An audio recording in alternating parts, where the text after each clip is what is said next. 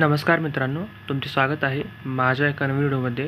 या व्हिडिओमध्ये आपण role of a chaperones in a protein folding म्हणजे प्रोटीन फोल्डिंगमध्ये शॅपरॉनचं काय रोल आहे आणि शॅपरॉन म्हणजे काय आहे आणि त्याच्या फॅमिलीज वगैरे काय आहे त्याचं इम्पॉर्टन्स किती महत्त्वाचं आहे ते आपण ह्या व्हिडिओमध्ये डिस्कस करणार आहोत. तर ह्यापूर्वी मी प्रोटीन फोल्डिंगवरती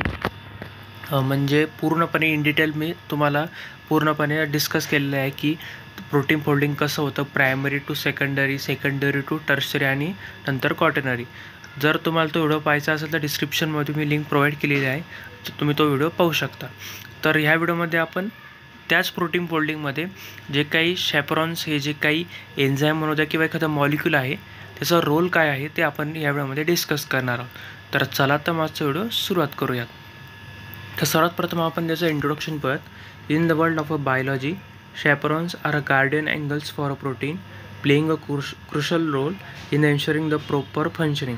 आणि जर मेन रोल याचा पाहिला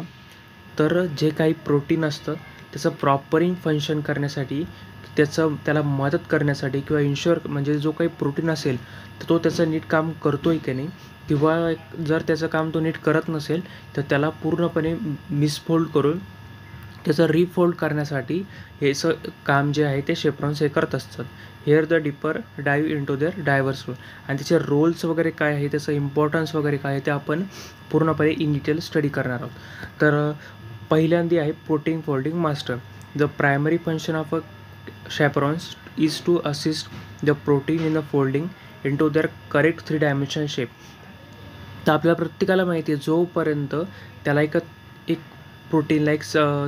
शेप किंवा एक स्टॅबिलिटी त्याच्या फंक्शनला येत म्हणजे पूर्णपणे स्ट्रक्चरला येत नाही तोपर्यंत जे काही प्रोटीन असेल ते पूर्णपणे त्याचं काम करू शकत नाही. तर मग त्याचं प्रायमरी जे काही फंक्शन आहे की ज्या वेळेस प्रोटीनचं फोल्डिंग होत असेल तर त्याचं जे थ्री डायमेन्शनल जो शेप आहे तो एकदम करेक्ट आला पाहिजे. त्याच्यासाठी जे काही शॅपरॉन्स आहे ते त्याला मदत करतात प्रोटीनला image imagine a long chain of amino acid forming a jumble mess and chaperones prevent this chow by guiding and stabilising the protein as it folds into its its specific structure. Structure जर आपण एक imagine करा जर एखादं amino acid असतील long chain amino acid polypeptide chain असेल तर त्याच्यामध्ये ते कसंही त्याचं फॉर्मिंग झालं म्हणजे त्याचं फोल्डिंग कसंही झालं थ्री डायमेन्शनल स्ट्रक्चर त्याचं बरोबर झालं नाही तर त्याच्यामुळे पुढे जाऊन काही डिसीजसुद्धा कॉज होऊ शकतं. काही इम्युनो डिसीज कॉज कॉज होऊ शकता किंवा प्रँकिन्सन किंवा ॲल्युमियर हे जे काही डिसीज आहे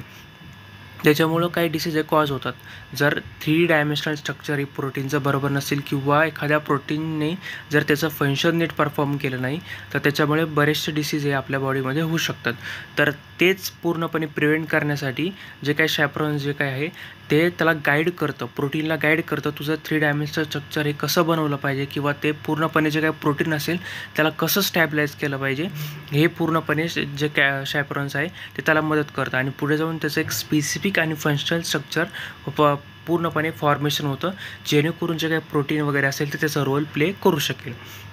हे झालं त्याचं प्रायमरी फंक्शन शेप्रॉनचं म्हणजे प्रोटीन फोल्डिंगमध्ये जे काही मास्टर म्हणजे मास्टर स्ट्रोक आपण म्हणू शकतो जे काही मेन रोल जे काय आहे ते शेप्रॉनचं तिथं आपण पाहू शकतो. This is a crucial because misfold protein often the clumps together and causing the harmful amyloid aggregate link to various disease like Alzheimer and Parkinson तर मी मागाशीच म्हटलो जर मिसफोल्ड झालं तर मिस्टेकली जर दुसरं जे काही प्रोटीनचं जे काही फंक्शन असेल ते नीट तो परफॉर्म करत नसेल त्याचं प्रोटीनचं जे थ्री डायमेन्शनल स्ट्रक्चर असेल किंवा शेप असेल ते नीट तयार झालं नसेल तर तिथं क्लम्स तयार होतील गठुळे तयार होतील. जेणेकरून ते जे काही प्रॅकिन्सन जे काही डिसीज वगैरे आहे त्याच्यामुळे कॉज होऊ शकतात तर त्याच्यामध्ये जे काही शेप्रॉन्स वगैरे आहे ते मदत करतात जेणेकरून ते पूर्णपणे प्रोटीनला स्टेबल करतात. आणि त्याला गाईडसुद्धा करतात जेणेकरून त्याचं करेक्ट थ्री डायमेन्शनल शेप किंवा स्ट्रक्चर हे फॉर्मेशन होऊ शकेल. तर दुसरं आहे beyond folding the prevent the aggregation they shield the expose the hydrophobic region of a protein आणि एक शेल्ड तयार करण्याचं किंवा ॲग्रिगेशन प्रिव्हेंट करण्याचं कामसुद्धा जे काही शेप्रॉन्स आहे ते करत असतं. म्हणजे जर जो काही हायड्रोफोबिक आहे हायड्रोफोबिक म्हणजे वॉटर रेटिंग जो रिजन असतो त्याला पूर्णपणे जो काही शील करण्याचं किंवा एखादं त्याचं रक्षण करण्याचं काम जे काही शेप्रॉन्स आहे ते करत असतात. Preventing them from the sticking to each other and forming the aggregate आणि जे काही स्टिकिंग होते म्हणजे ते एकामेकाला चिटकू नये किंवा ॲग्रिगेट म्हणजे एखादं क्लम्स वगैरे तयार होऊ नये त्याच्यामध्ये सुद्धा जे काही शॅप्रॉन्स वगैरे आहे ते तिथं त्याला मदत करत असतं प्रोटीनला त्याच्यानंतर unfolding and refolding some chaperones help in unfolding misfolding protein and guide them to refold correctly आणि काही वेळेस जर मिसफोल्ड जर प्रोटीन तयार झाला असेल तर त्याला परत अनफोल्ड करून नंतर परत रिफोल्ड करण्याचं कामसुद्धा किंवा त्याला करेक्ट करण्याचं कामसुद्धा जे काही शॅप्रॉन्स हे करत असतं. असेंब्ली आणि disassembly they facilitate the assembly and disassembly of a protein complex essential for many cellular process तर काही सेल्युलर प्रोसेसमध्ये जर प्रोटीनचं जे काही अनफोल्डिंग करायचं असेल किंवा मिसफोल्ड झाला असेल त्याच्यामध्ये तर त्याच्यामध्ये तर जे काही असेंबल झालेलं जे काही प्रोटीन असेल त्याला पूर्णपणे डिसेंबल करण्याचं आणि परत त्याला असेंबल करून एक प्रॉपर कॉम्प्लेक्स तयार करायचं प्रोटीनचं जेणेकरून ते त्याचं इसेन्शियल किंवा जे बेनिफिशियल जे फंक्शन आहे ते ते सेल्युलर प्रोसेसमध्ये करू शकेल. तर हे त्याचे काही बियॉन्ड फोल्डिंग जे काही फंक्शन वगैरे आहे ते आपण आता पाहिले. तर तसंच त्याचं ट्रान्सपोर्ट आणि ट्रान्सलोकेशनमध्ये सुद्धा ते मदत करतं. The guide protein to their designated location within the cell or across the membrane जेणेकरून जर एखाद्या लोकेशनसापर्यंत जर प्रोटीनला पोहोचवायचं असेल किंवा एखाद्या सेलपर्यंत किंवा मेम्ब्रेनपर्यंत प्रोटीनला पोहोचवायचं असेल त्याच्यामध्ये सुद्धा जे काही प्रोटीनला गाईड करण्याचं कामसुद्धा शेपरॉन्स किंवा त्याला ट्रान्सपोर्ट करण्याचं किंवा ट्रान्सलोकेशन म्हणजे त्याला लोकेशन डिझाईन करून देण्याचं कामसुद्धा जे काही शेपरॉन्स आहे ते करत असतं. Quality control the identify and target the misfolded protein for a degradation ensuring only functional protein remain आणि जर एखादं मिसपोल्ड प्रोटीन जर तयार झाला असेल